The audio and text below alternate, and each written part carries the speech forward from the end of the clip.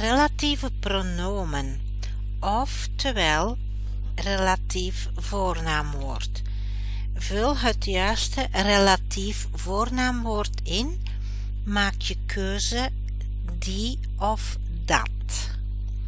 De trein in Brussel stopt, komt aan op spoor 9. Wat zou je hier kunnen invullen? Die of dat?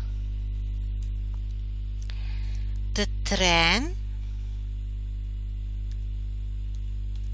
die in Brussel stopt, komt aan op spoor 9. 2. Het winkeltje hij dit weekend geopend heeft, verkoopt leuke meubels. Het winkeltje die of dat hij dit weekend geopend heeft.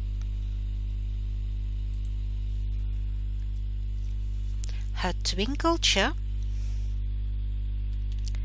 dat hij dit weekend geopend heeft, verkoopt leuke meubels. 3. Het venster wel is staat open. Het venster. Wat denken jullie? Dat of die? What will it be? Dat of die? Het venster. Dat vuil is staat open.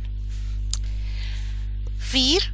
De pot op tafel staat is kapot. Die of dat.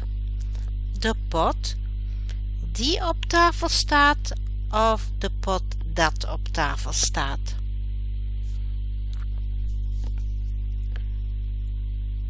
De pot die op tafel staat is kapot. 5. Het geld zij mij gegeven heeft is op. Zo, de betekenis van de zin, die, ik zal die zo meteen uitleggen. Ik ga eerst even zeggen wat we moeten invullen, dan wordt de zin iets duidelijker. Zo, het geld dat zij mij gegeven heeft of die zij mij gegeven heeft. Het geld dat zij mij gegeven heeft is op. Dat is de juiste zin. Dat. De betekenis van deze zin is: The money that she gave me is. I spent it all. It's, it's gone. Ja, eigenlijk, gone is weg. It's gone, het is weg. Maar het is op. It means that there is no more left. It's all, yeah, it's all gone. Um, I used it all, there is nothing left. Zo, het geld dat zij mij gegeven heeft is op. Nummer 6. Het jongetje buiten speelt is blij. Zo, blij betekent in het Engels happy. Zo, het jongetje dat of die. Het jongetje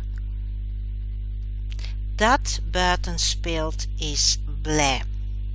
The little boy that is playing, who is playing outside is happy. Zo, dat. 7.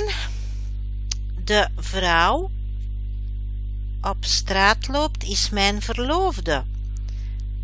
De vrouw die op straat loopt of dat op straat loopt.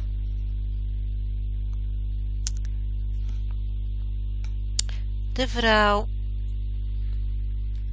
die op straat loopt is mijn verloofde.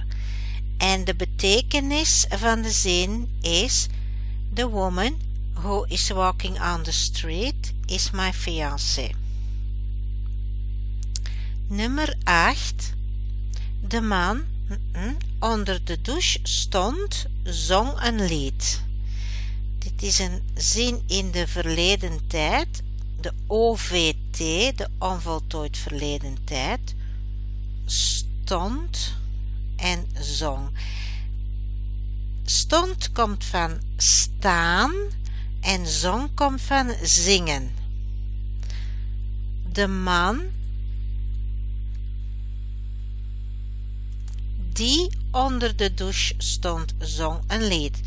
So the man who was standing in or under the shower so yeah was singing a song. It's hele vrije vertaling. It's very free translation because it's difficult to translate word by word. So, de man die onder de douche stond, zong een lied. Nummer 9. De verpleegster zelf rookt, zegt dat wij niet mogen roken.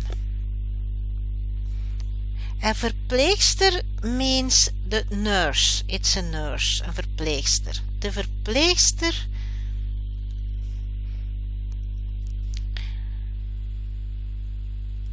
die zelf rookt, zegt dat wij niet mogen roken.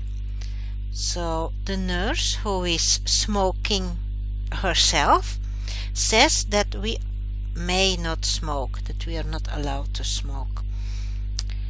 Nummer 10. Herken jij het liedje nu op de radio speelt? Herken jij het liedje? Dat of die? Dat nu op de radio speelt.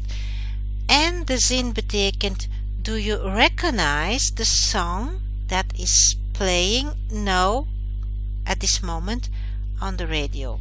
Herken jij het liedje dat nu op de radio speelt? Als deze video jou helpt, geef mij een duimpje en abonneer op mijn kanaal. So if you subscribe to my channel, you don't miss anything from my new videos. And thank you for watching. Bedankt voor het kijken en tot in mijn volgende video.